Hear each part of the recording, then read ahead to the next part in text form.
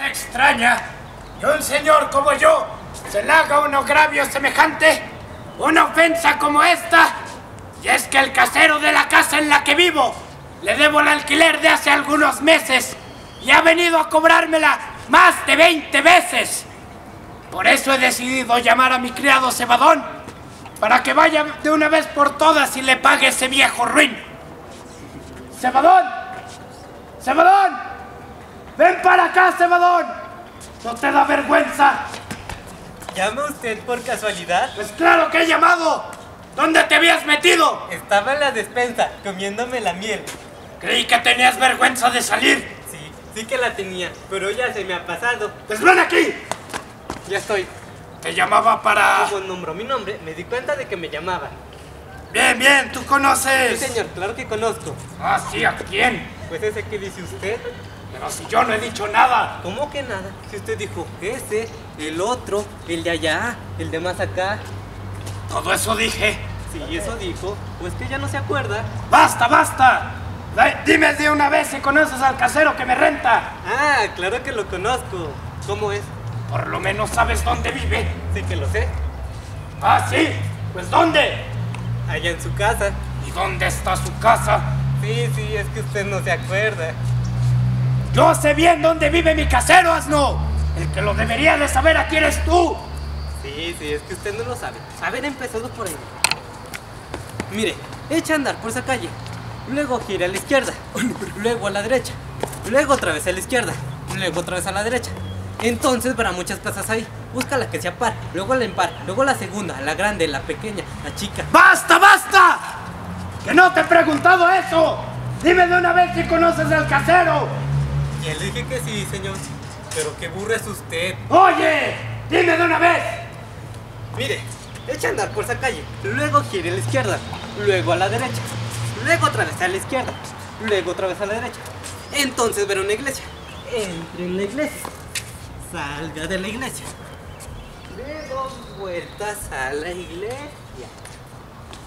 Y olvídese de la iglesia, porque por ahí no es. Pero entonces verá un pollo en una puerta, una puerta roja y dará dos vueltas. y- Por enésima vez, asno. Que yo sé bien dónde vive mi casero. El que lo debería de saber aquí eres tú. Que ya le dije que sí, señor, que lo sé muy bien. Ah, pues entonces irás y le pagarás. ay, cabrón. y le pagarás estos dineros que le debo del alquiler. Pero ten mucho cuidado, Cebador. Vayas a confundir. No, mi amo, ¿cómo me voy a confundir? Bien. Al sujeto que le tienes que darle los dineros tiene un ojo hinchado. ¿Vale? Y además, arrastra la pierna de esta manera. Pero ten mucho cuidado, Cebador. Digo, lo más importante es que cuando tú le des el dinero, él tiene que devolverte el- un recibo. ¡Ah! Yo le doy el recibo y él me da dinero. No al cornoque, al contrario. ¿Qué me tienes que dar un alcornoque? No, su asno. Tú le das el dinero y él te da el recibo. Todo entendido, lo que es decir las cosas de buena manera. Ah, pues menos mal. ¿Qué esperas? ¡Anda! ¡Vete! No se preocupe, mi amor, que lo haré todo estupendamente. ¡Rápido! Sí.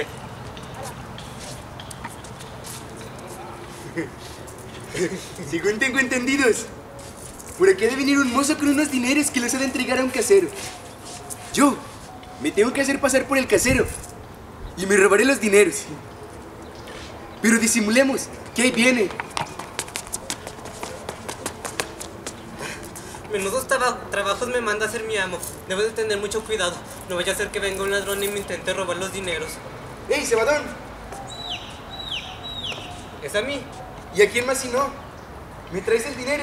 Ah, pero ¿cómo? ¿Eres tú quien los ha de recibir? Y el que los tiene que tener aquí en la bolsa. Oh, pues qué suerte he tenido de encontrarte tan deprisa. Pues venga que el dinero. Tome. Es decir, aguarde un momento ¿Qué, ¿Qué es lo que tengo que guardar? El ojo hinchado. Mi amo me dijo que a quien entregase los dineros debía de tener un ojo hinchado. Eso dijo. Si eso dijo, Ah, pues mire. Mire. Mire cómo lo tengo. ah, yo no veo nada. ¿Es que no lo ve? Ah, sí, sí que parece un poco, sí. Pues, pues venga que el dinero es. Tome. Es verdad. Aguarde otro momento. ¿Qué? ¿Qué es lo que tengo que guardar ahora? La pierna. Mi amo me dijo que a quien entregase los dineros debía de tener una pierna estropeada. Ah, eso dijo. Si eso dijo, Pues mira.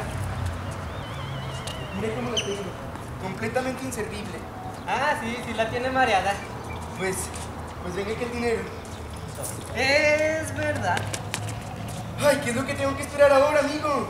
El recibo. Mi amo me dijo que a quien entregase los dineros tenía que darme un recibo. Ah, bueno. Si es solo por eso, ahorita mismo te lo doy. Y dile a tu amo de mi parte que es un grandísimo bobo. Que le diga a mi amo que usted es un grandísimo bobo. No, que el bobo no es él. Él o usted. Él y tú. Y de paso, le agregaré dos palabras más al recibo. Tontolondrín y tontolondrón. Eso mismo le ha de decir a usted. Toma. El dinero, el recibo llama el dinero. Tome. No hace falta que se ponga de esa manera. Oye, ¿y aquí qué pone? Léelo si te place, don tonto. Qué tontonazo, pero ¿a dónde llamo? Bueno, veamos qué pone en este papel. Y ahora que me acuerdo, yo no sé leer.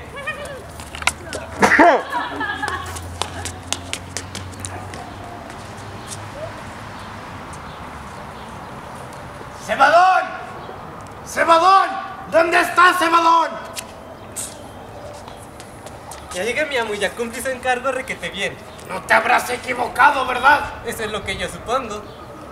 ¿Te fijaste si tenía el ojo hinchado? Como hinchado, se parecía un globo de colores a punto de estallar. Si en cuanto lo dijo empezó a guiñar de una manera. ¿Y tú lo viste? No, pero por poco se truena. ¿Cómo que no lo viste? No, pero él me dijo que así lo tenía. Ah, en fin. ¿Y te fijaste si arrastraba la pierna? Arrastrando no sé, pero sí que tenía dos piernas. Una, dos, tres, cuatro. ¡Basta! Terminemos de una vez con esto. Dame el recibo. Tome.